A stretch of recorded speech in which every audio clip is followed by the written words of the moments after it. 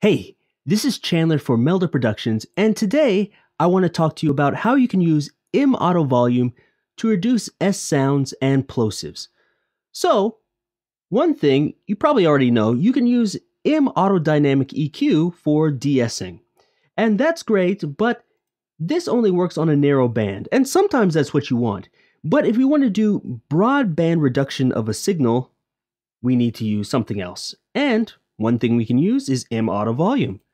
So, we open it up here, and before we get started, let's look at some of the examples. So first I have just a plain audio example of me speaking. Melda M Auto Volume. The second example has lots of S's. She sells seashells by the seashore. And the last one is filled with plosives. Here I'm popping my P's so you can hear the plosives. Okay, so the first thing we need to do is increase the look ahead just so I don't miss any S sounds. Now I'm going to change the noise gate to disabled. You'll see why in a second. Next, what I'm going to do is click the listen button down here in the detector. I'm going to loop this example with the S's, and as it's looping, I'm going to increase the high pass until I can only hear the S's. So here we go. She sells seashells by the seashore. She sells seashells by the seashore. She sells seashells by the seashore. She sells seashells by the seashore. She sells seashells. Okay, so there you can hear it's really emphasizing those S sounds. That's what we want. Now, if we turn the listen off, you'll notice that the output is going to increase a lot. So what we want to do is just bring the output down, and then we're going to level match the input and the output. So let's try that.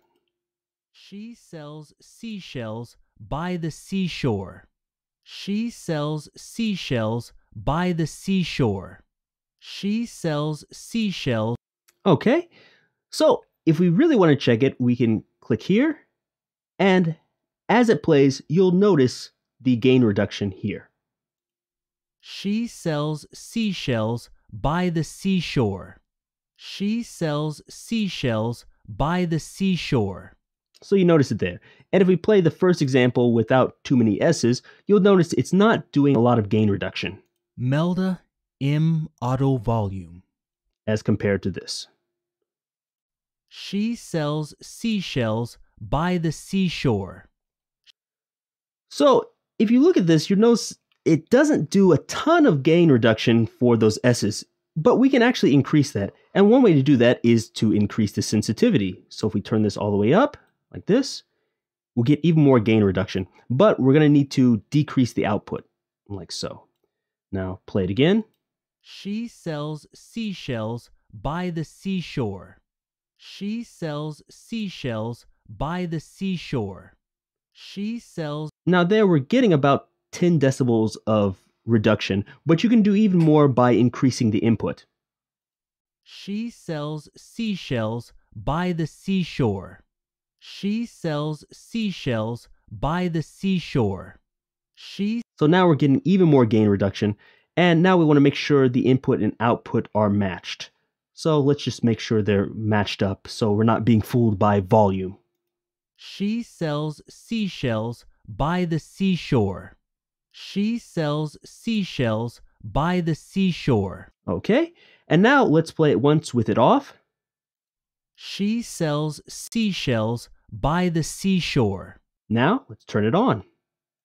She sells seashells by the seashore. Okay, so you can hear there's quite a bit of reduction there, and it really got rid of those sharp S sounds. But let's do the same thing now with plosives. So we are going to just go back to the default, increase the look ahead again, turn the noise gate to disabled, and we're going to click on listen, just like before. Highlight this. And now we're going to do the exact same thing, except instead of using the high pass filter, we're going to use the low pass filter until you can just hear those P sounds. Here I'm popping my P's so you can hear the plosives. Here I'm popping my P's so you can hear the plosives. Here I'm popping my P's so you can hear the plosives. Here I'm popping my P's so you can hear the plosives. Okay? And just like before, turn off the listen, turn the output gain down. Here I'm popping my P's so you can hear the plosives. Here I'm popping my P's so you can hear the plosives. Here I'm popping my P's so you can hear the plosives. Okay? Now let's hear it with it off. Here I'm popping my P's so you can hear the plosives. Now on. Here I'm popping my P's so you can hear the plosives. So as you heard, there's a great deal of reduction in those plosive sounds. So, of course, you can use this in conjunction with something like M Autodynamic EQ, a compressor, or just, you know, reducing the low end altogether. But this can be used, you know, dynamically so you're not just reducing the low end all the time. And in conjunction with other methods, you can get a lot more reduction if that's what you want. And you can do it more transparently by using more than one tool. Be sure to check out M Auto Volume and all the other tools available at Melda Production. Until next time, see you.